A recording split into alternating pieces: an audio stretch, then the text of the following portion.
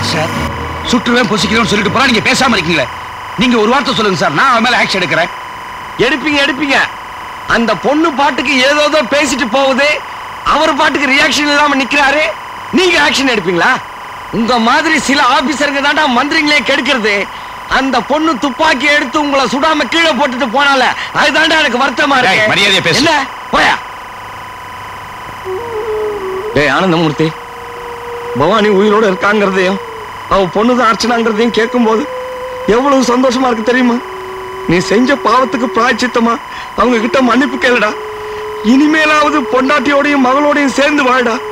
நான் சொல்ல வேண்டியது சொல்லிட்டு அப்புறம் உன் இஷ்டம். எந்த பெண் குழந்தைய கேவலம்னு நினைச்சு கலைக்க சொன்னியோ? அந்த குழந்தை மேல ஆணைய சொல்றேன். உன் கண்ணு முன்னாடி அவளை பெத்து வளர்த்து ஆளாக்கி படிக்க வச்சு இந்த சமூகத்துல பெரிய பதவிக்கு கொண்டு வந்து அவன் தலகுனிய வைக்கிறேன் இது சத்தியம்.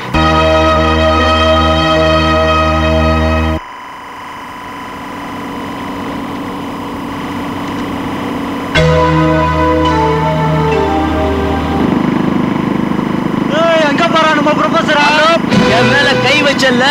இப்ப பாத்தியா ஜெயில விட்டு ஜெயில் மாத்திட்டேன்.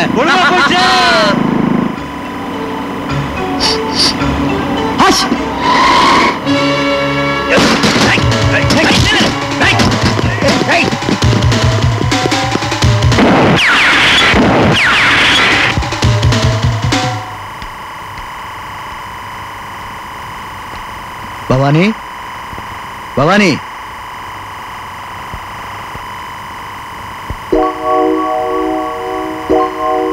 ஓ அமைச்சரா? வாங்க. எந்த உறவை வச்சுக்கிட்டு இந்த வீட்டுக்குள்ள வந்தீங்க? பவானிங்கிற பேரை சொல்றதுக்கு உங்களுக்கு வெக்கமா இல்ல? மரியாதை அங்கிருந்து வெளியே போயிடுங்க. போறதுக்கு முன்னாடி பவானியை பார்த்து என்ன மன்னிச்சிருன்னு ஒரு வார்த்தை சொல்லிட்டு போறேன். பவானி உங்களை பார்க்க விரும்ப மாட்டாங்க. ஏன்னா நீங்க அவ்வளவு துரோகம் செஞ்சிருக்கீங்க. உங்களால அவமானப்பட்டது போதும். ப்ளீஸ் போயிடுங்க. அர்ச்சனா தூக்கு மேடைக்கு போற கைதியை கூட உன்னோட கடைசி ஆசை என்னன்னு கேட்பாங்க. அதே நிலைமையில தாம்மா இப்ப நான் இருக்கேன். பவானியை பார்த்து என்ன மன்னிச்சிருன்னு ஒரே ஒரு வார்த்தை கேட்டுட்டு போக எனக்கு அனுமதி கொடுமா? ப்ளீஸ் மன்னிப்பு. நீங்க மன்னிப்பு கேட்க வேண்டிய இடம் இது இல்ல.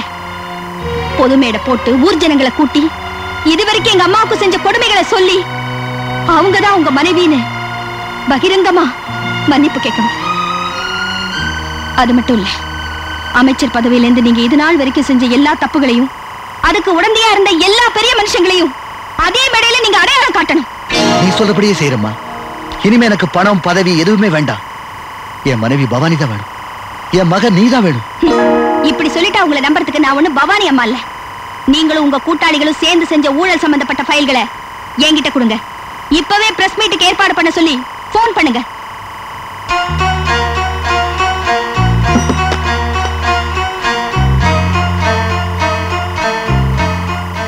யார் பேசுறது? நான் தான் பேசுறேன்? நாளைக்கு காலையில பிரஸ் மீட்டுக்கு ஏற்பாடு பண்ணு. எல்லா பத்திரிகைக்காரங்களையும் வர சொல்லு.